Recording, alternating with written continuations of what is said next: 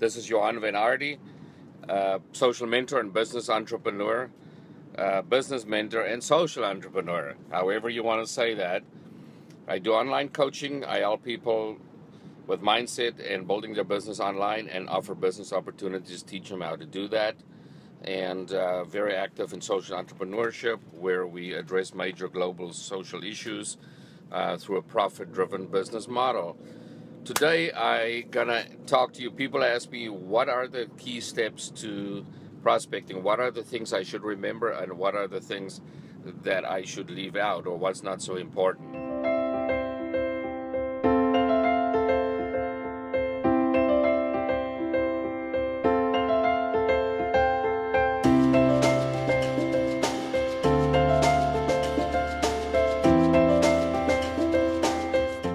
The three key steps into into prospecting is well first of all you need to put your hat on. You always need to look for the opportunity and the chance. Doesn't matter where you are.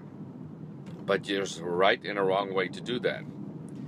But here's what the key steps is to making it successful. First number one do not prejudge.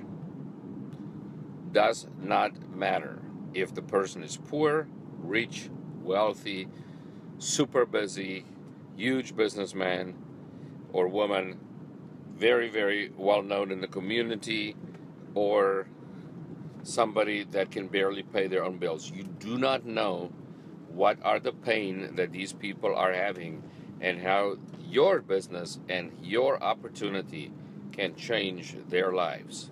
For some, it would be financial improvement or financial freedom. For others, it would be time freedom.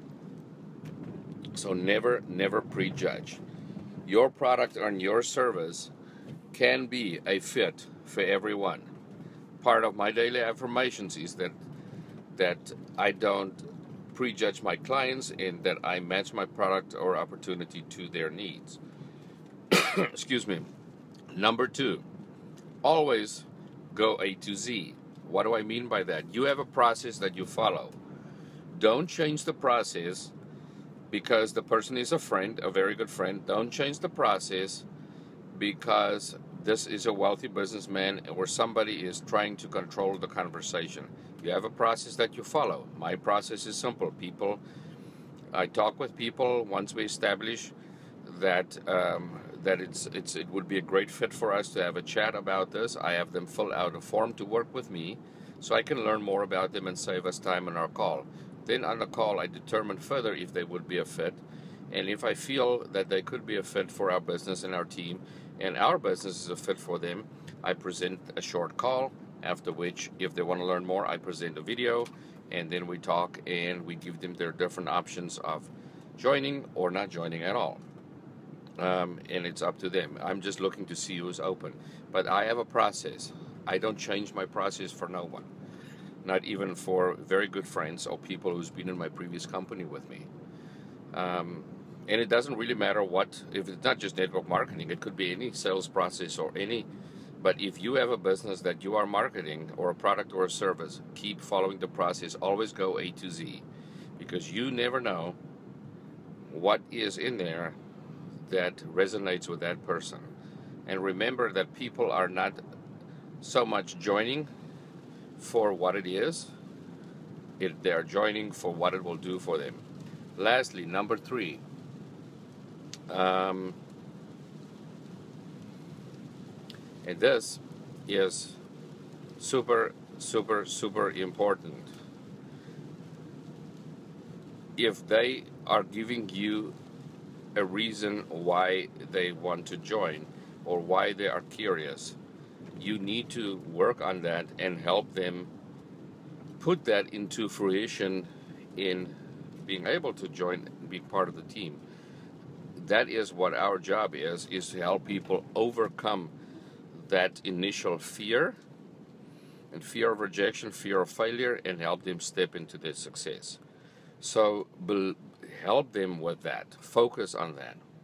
However, part of that is if they suddenly then have an excuse of why not they want to join and you know that the product or service is a fit and they've told you the reasons why they really want to do that, and now they suddenly tell you why they cannot do that, either for not having time, not wanting to make time, money, lack of money, anything like that, do not believe their excuse.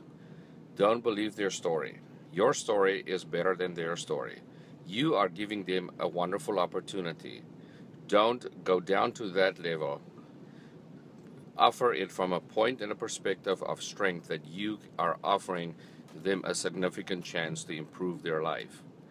And if people really want that, and they really, really want what they said they would want to join in the first place, then those excuses don't really count. So remember that. Number one, never prejudge. Give the opportunity to everyone, from super wealthy to very poor, Always go A to Z through your process. Don't change it for anyone. Number three, focus on their pain and how you can help them overcome that and make it better. And if they have an excuse of why they cannot do it, when you know it's a fit, don't believe their story. Yours is better. You have the better opportunity that you are offering them. Thanks, guys. This is Johan. Um, today, my call to action is simple to you to um, go to my website, rugbydude.com um, or johanvanaarde.com. Click on the Work With Me tab. Fill out that form and let's start the conversation and see if you are a fit for our business and our team. And if we feel mutually that it could be, and that the business is a fit for you, then we'll go into the process of sharing information with you and help you to start a business to help you eliminate some of that pain in your life and gain the pleasures in your life that you are looking for to accomplish and why you would be listening to this. Any comments? Um, love to uh, hear from you guys. Please give me your hearts and likes, and please share if I delivered some value with for you today. Thanks so much. Johan signing off. Bye.